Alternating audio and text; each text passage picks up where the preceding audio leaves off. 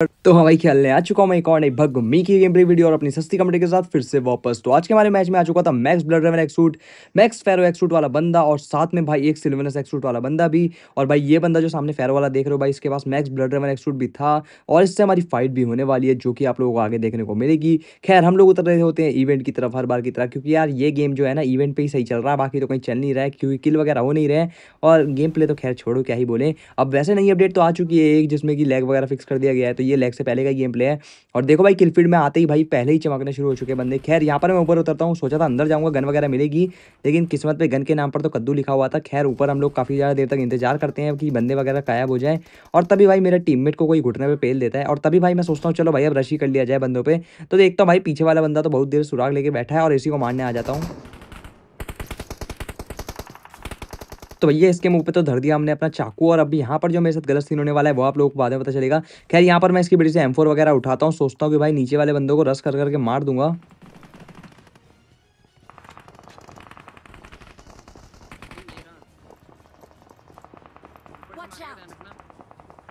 अब भाई ये लोग रश करने के लिए तैयार नहीं हो रहे थे तो मैंने बोला, क्यों ना मैं ही रश कर दूँ इनके ऊपर?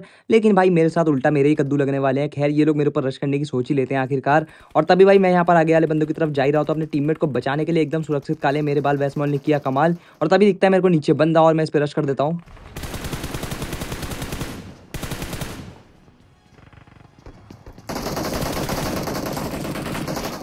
और यहाँ पर मैंने अपनी प्रोगिरी दिखाने के चक्कर में ज़्यादा एमओ प्री फायर में डाल दी और यहाँ मेरी पेटी भी डाल दी उस बंदे ने। खैर, वहाँ से निकल के हम लोग आ जाते हैं इवेंट की तरफ़ और यहाँ पर हमारे पास होने वाली है फेयर वाले एक्सूट से फाइट लेकिन भाई, उससे पहले यहाँ पर मेरी मौत का सामान लेके दो तीन बंदे बैठे हुए थे, जिनका मैं काफ़ी ज़्यादा देर तक इंतज़ार करता हूँ कि मेरे ऊपर रश करेंगे। लेकिन भाई, ये लोग भी रश नहीं कर रहे थे, मेरे पास टीम थे नहीं। लेकिन फाइनली भाई फेरो एक्सूट की किलफिट भी आ गई। ले भाई रश भी आ गया। भैया जितनी स्पीड से वो आया था, उसकी डबल स्पीड से मैंने उसकी पेटी डाल दी है। खैर, उसके टीममेट को बोलना पड़ेगा रिकॉल करने के लिए, वो तो कर ही देगा। अब आगे की तरफ़ भाई, मेरे टीममेट तो आ चुके थे मुझे बचाने के लिए और तभी भाई सामने की तरफ़ जो दो तीन बंदे बचे हुए थे, मैं उन पर करने की सोचता हूँ, लेकिन सारे के सारे बंदे भाग जाते हैं वापस, क्योंकि पता नहीं क्यों मेरे से डरते क्यों लोग इतना। खैर, आगे एक वॉल पर बंदा बैठा हुआ था तो उस पर रश करते हैं।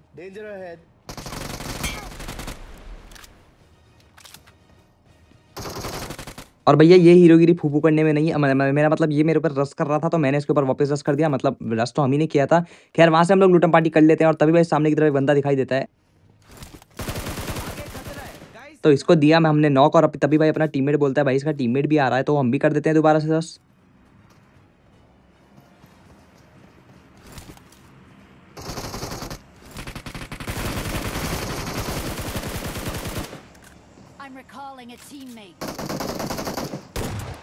खैर, ये खुले सांड की तरह ओपन में घूम रहा था तो मारी गई अब क्या राइम करो? अब तो कुछ हो भी नहीं रहा। खैर, वो सब छोड़ो यार, इन लोगों की हमने पेटी डाल दी थी। यहाँ पर हम लोग काफ़ी ज़्यादा देर तक रुकते हैं, इंतज़ार करते हैं बंदे आने का। और भाई, यहाँ पर अब रहते रहते, भाई, जीवन बीत चुका था मेरा सारा का सारा। तभी भाई फेरो एक्सूट वाले बंदे हमारे ऊपर कर देते हैं रस अपनी लेम्बोर्गिनी लेकर। अब मैंने सोचा था कोई गरीब निहत्ता बंदा होगा, किसी की गाड़ी वाड़ी चुरा के डाला होगा, लेकिन मुझे क्या पता था भाई, ये फेरो एक्सूट वाली टीम हमारे ऊपर रश कर रही है। और भाई, अभी तो मैं लोगों को गाड़ी देखने को ही मिलेगी। और भाई, शुरुआत ही हम लोग उसी फेरो एक्सूट को नॉक करने से करेंगे, शायद से, पता नहीं कौन नॉक होता है। खैर, यहाँ पर मैं देखता हूँ भाई, ये बंदे हम लोग रश कर रहे हैं तो मैं भी कर देता हूँ अपना हाई आईक्यू शुरू।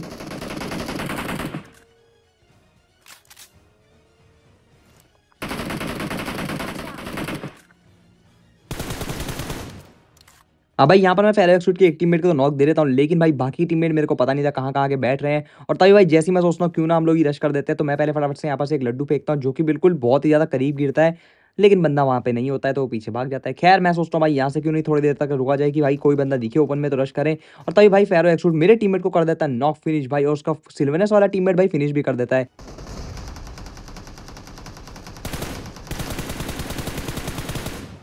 और भाई ये बच चुका था सिल्वेनस वाला बंदा जरा सा बिल्कुल यार मतलब बहुत ही ज़्यादा घंटा डैमेज था मेरा। खैर, यहाँ पर मेरा टीममेट तो था मेरे को कवर देने के लिए, लेकिन भाई मेरे को करना था जल्दी से जल्दी रश क्योंकि भाई मेरा टीममेट जल्दी जल्दी फिनिश कर रहा था। और अब सिर्फ़ खाली टीम में बचे दो एक्सूट वाले बंदे, एक फेरो एक्सूट और एक सिल्वेनस एक्सूट तो मैं करता हूँ जल्दी से जल्दी रश भाई इन बंदों पर और तभी भाई सामने आ चुका था फेरो एक्सूट जो कि मेरे ऊपर रश कर रहा था, एकदम चौड़ में। तो अब देखो भाई यहाँ पर क्या होता है।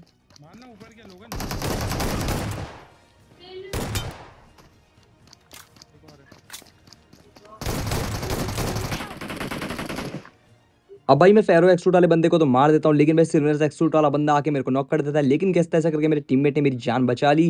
खैर यहाँ पर मेरी एचपी काफ़ी कम हो चुकी थी फेरो एक्सूट वाले से फाइट लेने के बाद, तभी भाई उसका वो जो सिल्वर वाला बंदा था वो रश कर देता है, इस चक्कर में बच नहीं पाया मैं।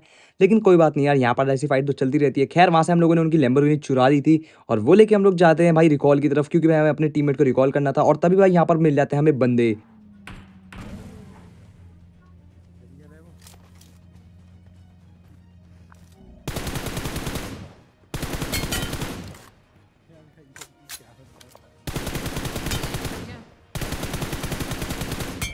अब भाई वो बंदा गाड़ी के पास सुन के बॉट फायर करके मेरे को बुला रहा था, लेकिन भाई उसके साथ उल्टा हो था, उल्टा पेटी बन गई यार, उसकी ओपन में पेटी लूट रहा था। खैर, एक पेटी के ऊपर दूसरी पेटी फ्री मिल चुकी थी। खैर, अब यहाँ पर एक बंदा बचा हुआ था रिकॉल पर, जो कि भाई आगे वाले घर पर बैठा हुआ होता है करके मस्त। तो मैं अपने टीममेट को बोलता भाई, तुम लोग रश करो, जैसे मेरे को फुट्स आएँगे, मैं उसको मार दूँगा। और भाई तभी देखो, सामने कहाँ बैठा हुआ है। भाई, ये मेरे टीममेट के ऊपर निशाना लगा के बैठा हुआ था, लेकिन मैंने साइड से इसके ऊपर निशाना लगा दिया। खैर, इसकी उम्मीद भी मैंने तोड़ दी थी कि ये सोच रहा था टीममेट रिकॉल कर देगा तो मैंने इसकी तोड़ दी मैंने मतलब उम्मीद तोड़ दी, और कुछ नहीं तोड़ा भाई, बाकी कुछ मैं सोचना। खैर, वहाँ से हम लोग निकल के गाड़ी लेकर फटाफट से गोली हो जाते हैं भाई, आगे वाले बंदों की तरफ़। तभी भाई, यहाँ पर मेरी खतरनाक वाली ड्राइविंग तुम लोगों को देखने को मिल रही होगी, एकदम खतरनाक वाली, एकदम हीरो वाली। वहाँ से हम लोग निकल के आ चुके होते हैं इन घरों की तरफ़ तक सामने वाले घर में भाई, मेरे को पता चलता है बंदे हैं। तो निकालता हूँ अपनी एब्लू वेब्लू और अब देखो मतलब ये मत देखो, अब देखो। मतलब क्या क्या दिखाऊँ मैं? कुछ दिखाने लायक रहा ही नहीं। भाई, दो गोलियाँ मिस कर दी, अब की बार एक भी गोली मिस नहीं होगी। अब तो पक्का कोई नॉक करूँगा, देखो, बस कोई पीक दे दे, बस अब की बार भाई कोई तो दे दो पीक क्या फ़ायदा मेरा एब्लू वेब्लू लेने का, जब कोई पीक ही ना दे रहा। भाई, दे दो भाई, एक तो दे दो। अरे, कोई तो बाहर है हाँ आया। हिल अरे, भैंस की टांग बच गया। दोबारा से भाई, दोबारा से, एक और टेक एक और टेक और अब की बार तुम्हारे भाई ने यहाँ पर ऐसा हेडशॉट लगाया बंदे को जो कि बॉडी शॉट लगा था, पता नहीं कैसे। खैर, वहाँ से तो यार एक बंदे को मैं नॉक कर दिया, तभी भाई मेरा टीममेट एकदम ओपन में रश कर दे रहा है भाई, मैंने तो उसे बोला था रश करने के लिए। और भाई जितनी स्पीड में वो गया था, उतनी स्पीड में उसकी पेटी बनने वाली थी तो मैंने बोला कवर देने चले जाते लेकिन भाई वहाँ पर वो सब कुछ ऑल कर देता है। तो वहाँ से हम लोग गाड़ी लेकर निकल लेते हैं आगे वाले बंदे की तरफ़। और भाई यहाँ पर एक घर के अंदर बंदा बैठा हुआ था, जो कि भाई छुप के आ चुका था, मछली में उड़ता उड़ता जल्दी जल्दी से। तो मैंने बोला, भाई निकालो अपने नेड वेड मोली, लस्सन, अदरक, पानी के गुब्बारे, होली के खेलने वाले सारे। तो भाई वो निकालने के बाद हम लोग कर देते हैं इस बंदे पर रश जो कि मेरे को इसी पोजिशन नहीं, पता थी कहाँ पर बैठा हुआ है। तो मैं फेंकता हूँ इधर से उधर पानी के गुब्बारे तभी मेरे को पता चलता है, भाई ये बंदा अंदर कहीं बैठा हुआ है, कोने में कैंप करके। और अब देखो।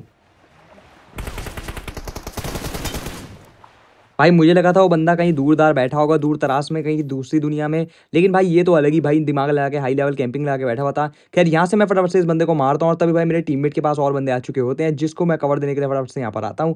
लेकिन बंदे के सारे के सारे गायब हो चुके होते हैं। तभी मेरे को पता चलता है भाई, इस घर के अंदर बंदे बैठे हुए हैं। तो निकालता हूँ मैं, उतरता हूँ फटाफट से यहाँ पर, देखता हूँ पोजिशन कहाँ कहाँ पर बंदे बैठे हुए हैं और निकालता हूँ अपना लंबा सा मेरा मतलब मौली निकालता हूँ, मौली और फेंक के मारता हूँ एक कोने में, क्योंकि सारे बंदे मेरे को दिख चुके थे और जलाया था उनके पिछवाड़े फिर।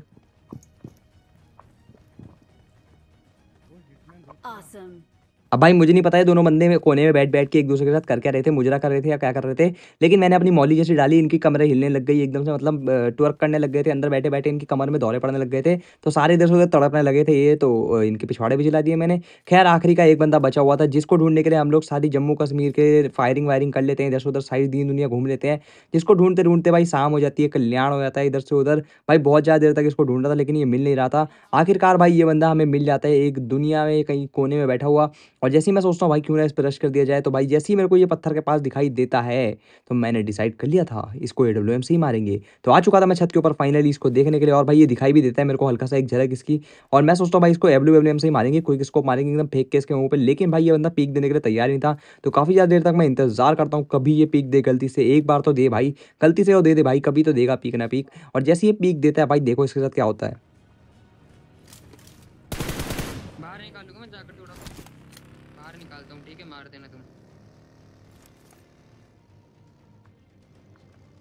देखो, आया था सुरीता बाहर ये। मछली। मछली क्या वेनम तेरे पास मछली दे, मछली से मछली से बढ़िया दे दूँगा मैं उसके। ये रही गाड़ी। और इतने ज़्यादा जन्मो जहद के बाद फाइनली भाई उस बंदे ने पीक दे दिया था उसने हार मान ली थी। मतलब उसको पता था सामने वाले बंदे का एम जो है काफ़ी ज़्यादा अच्छा है एम से मार रहा था इस पर खतरनाक वाला ज़ीरो रिकॉयल एकदम। तो उसने डर के मारे पीक दे ही दिया और ये मुजरा ये, ये सब तो छोड़ो यार मुजरा मुजरा तो चलता रहेगा वाह क्या कमर हिला रहा है यार। खैर वो सब छोड़ो यार तुम लोगों को वीडियो के लिए कमेंट करके बताना फेरो सूट वाले को मार दिया था सिल्वरस वाले ने हमारी मार ली मेरा मतलब खैर वो सब तो चलता रहता है। आप लोगों को आज की वीडियो के लिए कमेंट करके बताना मिलते हैं आप लोगों से कॉर्ड कमाल की वीडियो में तब तक के लिए बाय बाय जय हिंद वंदे मातरम।